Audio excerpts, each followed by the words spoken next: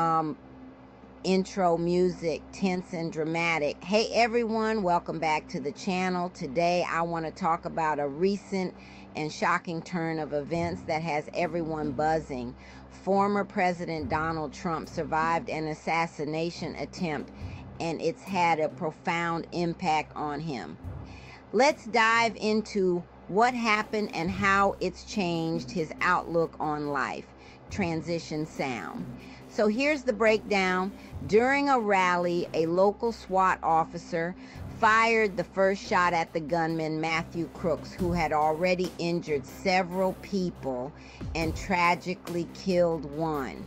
This shot struck the gunman's weapon, causing a delay and potentially saving many lives. A Secret Service sniper then fatally shot Crooks ending what could have been a much more devastating attack. Congressman Clay Higgins has been vocal, criticizing the FBI's handling of the crime scene. He alleges that the FBI released the crime scene prematurely and cleaned up critical evidence. The FBI, however, stands firm, stating they followed standard procedures and have cooperated fully with investigators. This controversy has sparked a heated debate about transparency and accountability in high stakes investigations. Transition Sound. This event has had a lasting impression on Trump, who was injured but survived. He's publicly stated that this attempt on his life has made him more of a believer Trump has always been outspoken about his faith, but this incident seems to have deepened his conviction. In a recent podcast, he shared that this experience has strengthened his faith and reliance on a higher power. Speaking of faith, Christian influencer Lisa Bevere recently talked about the biblical definition of a woman on the Joe Rogan podcast. Her insights have resonated with many, especially in the context of current events involving public figures and their personal beliefs.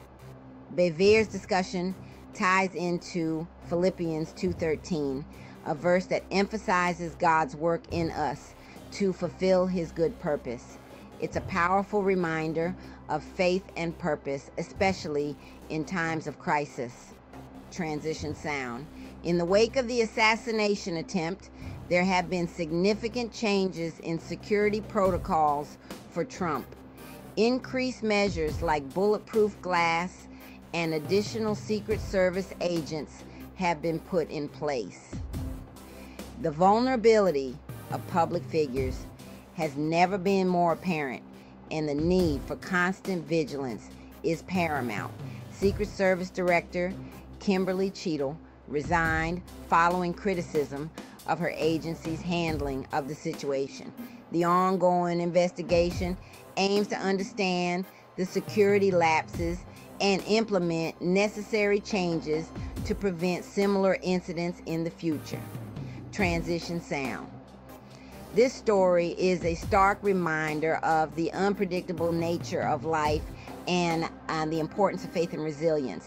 Whether you agree with Trump's politics or not, his experience highlights the human side of public figures and their personal journeys. Thanks for tuning in. Don't forget to like, comment, and subscribe for more updates. Stay safe, and I'll see you in the next video.